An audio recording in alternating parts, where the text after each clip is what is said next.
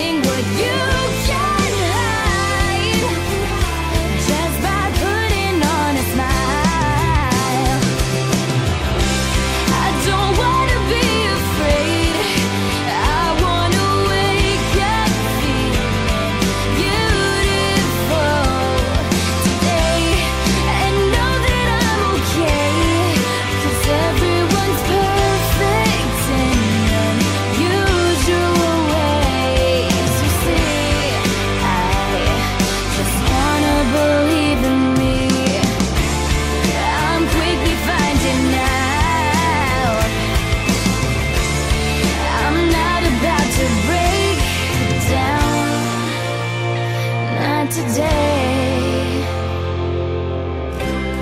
I guess I always knew that.